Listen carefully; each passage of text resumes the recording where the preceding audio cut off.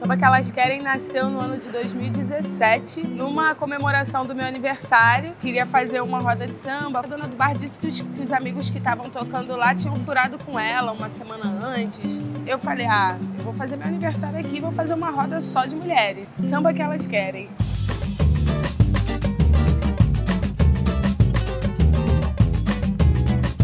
Anteriormente eu não tinha noção da proporção que, tomaria, né? Nasceu em agosto, em dezembro a gente já tinha uma matéria no New York Times, assim, tipo, mas no início ainda era estranho para as pessoas que um grupo só de mulheres não era é, só um lugar de, de militância, porque sempre tive dificuldade de chegar nas rodas e que eram majoritariamente masculinas, sabe?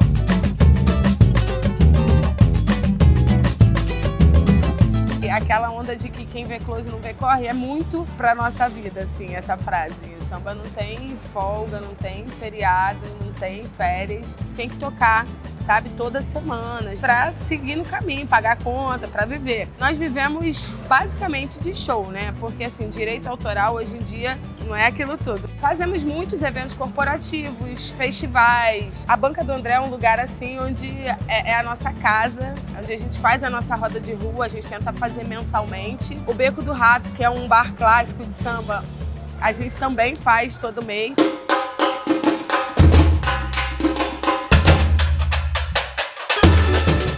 Samba ele, ele faz girar uma economia que é muito bacana também, que são as pessoas que, os ambulantes, que várias famílias vivem a partir dos eventos que a gente faz na rua. Se você está é, alinhado com a prefeitura tudo mais, você consegue ganhar o seu dinheiro e consegue fazer também a economia girar para quem trabalha ali